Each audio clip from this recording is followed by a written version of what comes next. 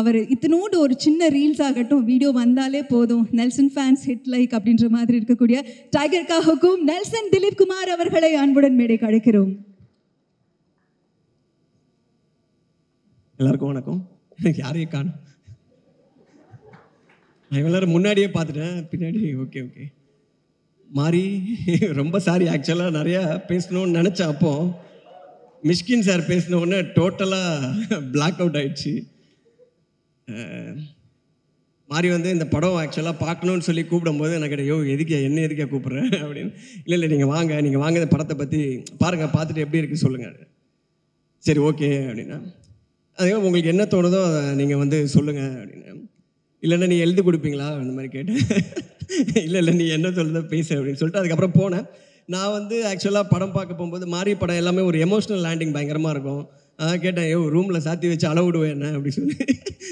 But ஆனால் வந்து இது என்னோட பயோகிராஃபி தான் அப்படின்னாரு. எனக்கு அதுவே ரொம்ப இன்ட்ரெஸ்டிங்காக இருந்துச்சு. பரவாயில்லையே அவரே அவரோட பயோகிராஃபி எடுத்திருக்காரு அப்படின்னு சொல்லி. சரி அப்போது ஆள் பார்த்தா நான் இப்போ படம் பார்க்குறது வேறு நேரில் பேசுகிற மாதிரி வந்து கொஞ்சம் வேறு மாதிரி இருக்கும். நான் எப்போவுமே கொஞ்சம் பர ரொம்ப சீரியஸான ஆள் போல இருக்குன்னு நினச்சேன். ரொம்ப ஜாலியான ஆள் ஒரு மாதிரி சீரியஸாக இருக்காப்புல.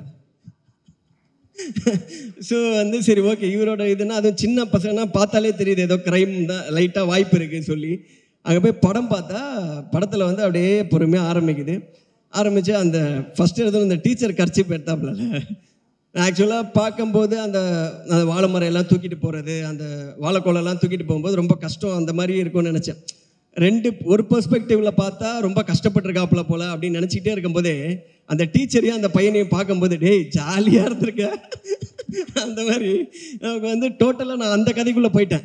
அது பார்த்தா எல்லாமே அதுக்கப்புறம் எனக்கு அந்த லைஃப்பில் ஆக்சுவலாக அதை பார்க்கும்போது வந்து ஒரு சைடு அதில் இருக்க கஷ்டங்கள் எல்லாமே அந்த எமோஷன் எல்லாமே புரியுது. பட் அதர் சைடு வந்து ரொம்ப சந்தோஷமாக இருந்திருக்கு.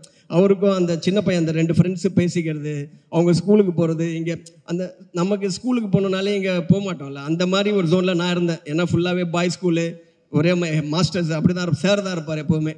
மிஸ் எல்லாம் ஃபஸ்ட்டு வந்தவொடனே அங்கேயே போயிடும். அப்படியே பாஸ் ஆகிடுவாங்க ஸோ இவர் வந்து கரெக்டாக அந்த டீச்சருக்காக ஸ்கூலுக்கு போகிறதெல்லாம் பார்க்கும்போது நமக்கு வந்து ஓகே ஏதோ நல்லபடியாக இருந்திருக்காரு. அப்படின்னா இப்போது மிடில் ஸ்கூல் முடிச்சிருப்பாருன்னு நினைக்கிறேன். இன்னும் ஹை ஸ்கூல் இருக்குது ஹையர் செகண்டரி இருக்குது காலேஜ் நிறைய டீச்சர்லாம் இருந்திருப்பாங்க. எதுவுமே சாதாரணமாக கடந்து போன மாதிரி தெரியல. பட் இதை இவ்வளோ சந்தோஷமாக அது சாரி இந்த மாதிரி நிறைய அந்த ஃபன் மூமெண்ட்ஸோடு இந்த படத்தை வச்சிருக்கிறது வந்து அந்த படத்தில் என்ன சொல்கிறது ஒரு ஒரு ஜென்ரல் ஆடியன்ஸ்க்கு ஒரு ஒரு என்டர்டெயின்மெண்ட் சென்டருக்காக இந்த படம் இருக்குமா? இல்லை ஃபுல்லாகவே வந்து ஒரு ஒரு பதிவாக மட்டுமே இருக்குமா அப்படின்னு பார்க்கும்போது இந்த மாதிரி விஷயங்கள் வந்து அது இன்னும் கொஞ்சம் கமர்ஷியல் ஆடியன்ஸ்க்கு மேபி நம்மள மாதிரி கொஞ்சம் ஃபன் எதிர்பார்க்குறாங்களே அவங்களுக்கு வந்து நிறையவே ஃபன் இருக்குது அது உள்ள. ஆனால் இது எல்லாமே நீங்கள் தான் பண்ணீங்களா? கொஞ்சம் அப்போ என்ன ஒரு பத்து வயசு இருக்குமா? பையன் வயசா? அதான் பையன் டீச்சரே பார்க்குறான் திருப்பி. ஸோ இந்த மாதிரி இன்னும் நிறைய ஃபன் சைடும் இருக்குது பட் அந்த படம் முடியும் போது தான் வந்து அதில் இவ்வளோ எமோஷன் ஏன்னா அவர் என்ன மாதிரி விஷயம்லாம் எனக்கு தெரியாது ஃபஸ்ட்டு இது ஆல்ரெடி புக்கில் எழுதியிருக்காருறாங்க நம்ம எங்கே புக்கு படிச்சது? நம்ம படித்த புக்கே டோட்டலாக வேறு. ஸோ அதில் எனக்கு தெரியாமல் பார்த்தா கடைசியில் அந்த அப்படி ஒரு எமோஷ்னல் லேண்டிங் அந்த படத்துக்கு இருக்காது அது அதோட ரியல் ஃபோட்டோ பிக்சர் ஒன்று போட்டார். அப்போ தான் நமக்கு வந்து அந்த கொஞ்சம் ஹார்ட் வந்து இன்னும் ஹெவி ஆயிடுச்சு. ஏன்னா அது ரியலாக நடந்த சம்பவம் அதில் ஒரு ஆள் தான் இவர் அப்படின்றது எல்லாமே அதுக்கப்புறம் பின்னாடி தான் தெரிய வந்துச்சு. பட் அந்த சோகத்தோடய வெளியில் வரும்போது திருப்பி நான் டீச்சருக்கே போயிட்டேன். அதனால் எனக்கு ஹாப்பியாக கட்டி பிடிச்சி நல்லா இருந்தது.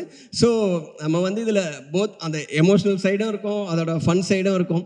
ஒரு நல்ல அந்த ஒரு ரொம்ப ரூட்டடாக அதை அந்த casting எல்லாம் மாறாமல் ஏன்னா அந்த லாரியிலலாம் வந்து கும்பலாக நிறைய பேர் உட்கார வச்சிருக்காரு. எத்தனை பேர் உட்காருவாங்கன்னு தெரியாது. அது வேற ரொம்ப ரியலாக இருக்கணும்னு பள்ளத்தில் இறக்கி லாரியை கவுத்துருவாரோன்னு எனக்கு ஒரு பயமாக ஒன்று வேற இருந்துச்சு.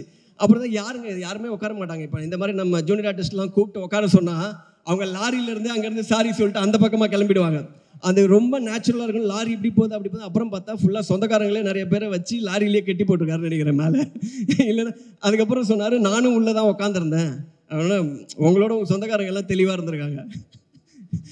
ஸோ இந்த மாதிரி நிறைய விஷயம் இருக்குது இன்னும் மாறி வந்து அவரோட இப்போ அந்த லைஃப் அவரோட பேக் ட்ராப் இதெல்லாம் பார்க்கும்போது நல்லா இன்ட்ரெஸ்டிங்காக இருக்குது அதோட ஃபன் சைடும் இன்னும் நல்லா நீங்கள் எக்ஸ்ப்ளோர் பண்ணிங்கன்னா இன்னும் வந்து நல்லா இருக்கும்னு நினைக்கிறேன். சேம் இதே மாதிரி நிறைய படம் எடுங்க மாதிரி நிறைய கதை இருக்கும். தெரியுது. பார்த்தல் தெரியுது. ரொம்ப தேங்க்யூ தேங்க்ஸ் கூப்பிட்டதுக்கு ரொம்ப சந்தோஷம். படத்தில் நடித்தவங்க எல்லாருமே ரொம்ப நல்லா நடிச்சிருந்தாங்க. இதை நான் சொல்ல வேணாம் இதெல்லாம் நிறைய எல்லாருமே சொல்லிட்டாங்க. எல்லா காலியான சேருமே அது. அதெல்லாம் தாண்டி தான் இப்போ நான் என் ஒரு சேரை காலி பண்ண போகிறேன் ஸோ கூப்பிட்டதுக்கெல்லாம் ரொம்ப தேங்க்ஸ் நன்றி. ஒரே ஒரு கேள்வி மட்டும் உங்ககிட்ட. இப்போ மாரி சார் வந்து கிட்டத்தட்ட பார்த்துக்கிட்டிங்கன்னா ஒரு ஸ்டார்ட் கொடுத்துருக்காங்க. டிரெக்டர்ஸோட பயோகிராஃபி அவங்களுடைய ஒரு குறிப்பிட்ட பருவம் வந்து அவர் எடுத்திருக்காங்க. நெல்சன் அவர்களுடைய ஒரு பயோகிராஃபி நம்ம எடுக்கணும்னா எந்த ஒரு போர்ஷன் ரொம்ப இன்ட்ரெஸ்டிங்காக இருக்கும்? அதை பற்றி எடு எடுக்க முடியாத பருவமாக இருக்கு ஃபுல்லாக எந்த பருவத்தையும் எடுக்க முடியாது. யாராவது எடுத்தா வேணா ஆ, அது கொஞ்சம் நம்ம தான். அந்த அந்த கர்ச்சிஃப் ஆனால் எனக்கும் அந்த கர்ச்சிஃப் எடுக்கணும்னு தோணி இருக்கு ஒரு நாள் கூட தைரியம் வந்ததில்லை. அப்படியே பார்த்துனே இருப்பேன். நம்ம ஏன்னா பார்த்தாலே நம்மளை அந்த கிளாஸில் யா யார் இதை எடுத்திருப்பானாலே யாரோ எடுத்திருந்தா கூட நம்மளை தான் பிடிப்பாங்க. அந்த மாதிரி இருக்கனால அந்த சைடே போகிறதில்ல ஆனாலும் ரொம்ப தைரியம்ப்பா. அதை வச்சு புக்கில் வச்சு அவங்க கிட்டேயே மாட்டி அந்த டீச்சரும் ரொம்ப நல்லவங்க ஆக்சுவலாக நம்ம டீச்சர்லாம் வெளுத்துருவாங்க அங்கேயே. பரவாயில்ல அந்த டீச்சரும் உனக்கு ஏற்ற மாதிரி அந்த இதெல்லாம் கர்ச்சிஃப்லாம் கொடுத்து ரொம்ப சந்தோஷமா இருந்துச்சு. தேங்க்யூ. நம்மளது எடுக்கவே முடியாது எடுக்க முடியாதுங்களா? Thank you thank you